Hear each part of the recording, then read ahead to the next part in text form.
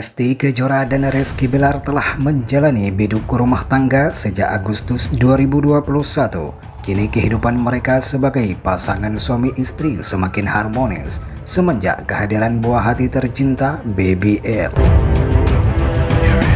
Meski baru setahun menikah, Lesti dan Rizky Bilar kerap memperlihatkan kemesraan di berbagai kesempatan. Mereka pun kerap diundang ke berbagai acara sebagai sepasang suami istri.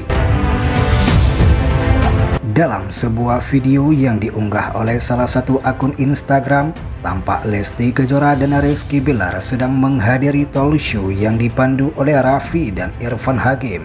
Lesti lantas memperlihatkan bagaimana ia mencium tangan sang suami.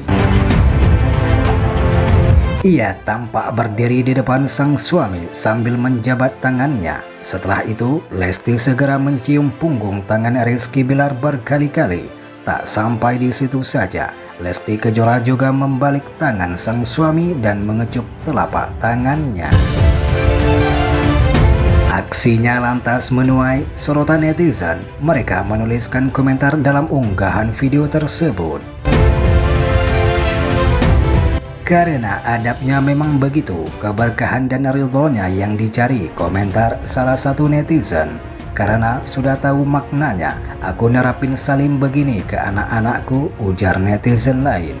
Masya Allah, cemburu, tapi cuma bisa salim ke ortu dulu sekarang, ujar salah seorang netizen.